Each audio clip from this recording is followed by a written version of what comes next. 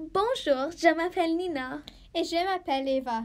Et aujourd'hui, nous allons vous apprendre à faire la résolution de problèmes. Ouais!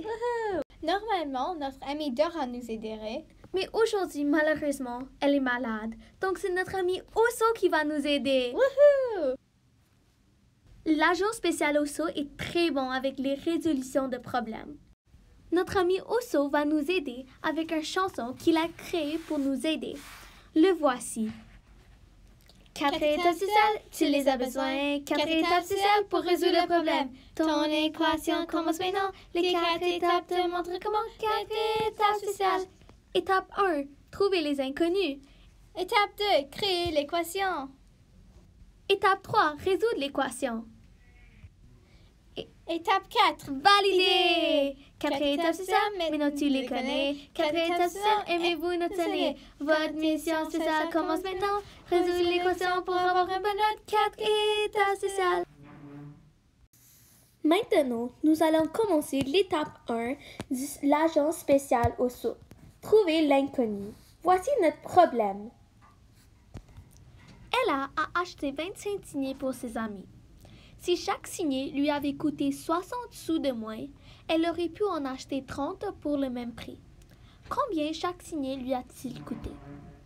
Notre inconnu, X, est le coût d'un signet. Il y a plusieurs indices qui nous montrent cela. D'abord, dans l'équation, il faut trouver des indices. Un indice est que dans l'équation, si chaque signet lui avait coûté 60 sous de moins. La question qu'il faut se poser est 60 sous de moins que quoi? Et la réponse est 60 sous de moins que le coût d'un signet. Donc le coût d'un signet est X. On ne connaît rien sur le coût d'un signet, donc c'est notre inconnu. On va maintenant faire l'étape 2 de l'agent spécial OSO. Formuler notre équation. On va formuler notre équation en sachant que le prix d'un signet est X.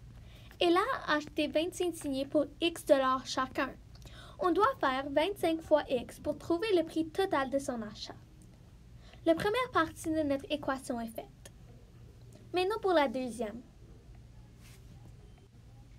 Si un signet coûtait 60 sous de moins, elle aurait pu acheter 30 pour le même prix.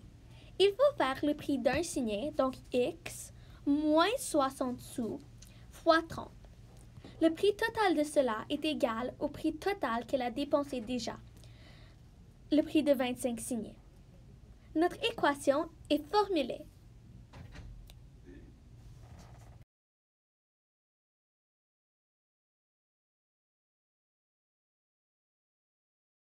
Maintenant, nous allons faire la troisième étape de l'agence spéciale OSO. Avant de résoudre notre équation, on a 25x égale 30 fois x moins 0,60. Avant tout, pour faciliter la tâche, on va réduire l'équation. Il n'y a rien à réduire sur la partie gauche, donc on réduit sur la partie droite. Il faut faire 30 fois x moins 30 fois 0,60, ce qui donne 25x égale 30x moins 18. Maintenant, on veut se débarrasser du 30x pour avoir x sur juste une côté. Donc, on va faire 30x moins 30x. Mais si on le fait sur un côté, il faut le faire sur l'autre. Alors, on fait aussi 25x moins 30x. Voici notre nouvelle équation. Maintenant, on a 25x moins 30x égale 30x moins 30x moins 18. Ce qui donne moins 5x égale moins 18. Mais vu qu'il y a une signe négative sur les deux côtés, ça se transforme dans des signes positifs. Maintenant, on a 5x égale 18. On fait 5x divisé par 5 égale 18 divisé par 5. Et on obtient x égale 3,6. Maintenant, nous allons faire l'étape la plus importante de l'agent spécial OSO. L'étape 4. Valider. On veut vérifier si notre X, le prix d'un signet, représente vraiment la valeur de 3,6 Donc, on va supprimer tous les X de l'équation en les remplaçant par leur vraie valeur pour voir si 3,6 est vraiment le prix d'un signet. On va résoudre l'équation exactement comme on le fait avec une équation normale. On devrait avoir le même nombre aux deux côtés de l'égalité. Le nom de cela est une égalité vraie.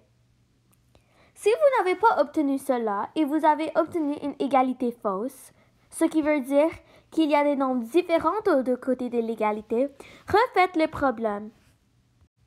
Merci d'avoir écouté la vidéo. Quand vous avez de la difficulté, n'oubliez pas de penser aux quatre étapes spéciales de l'argent spécial au saut.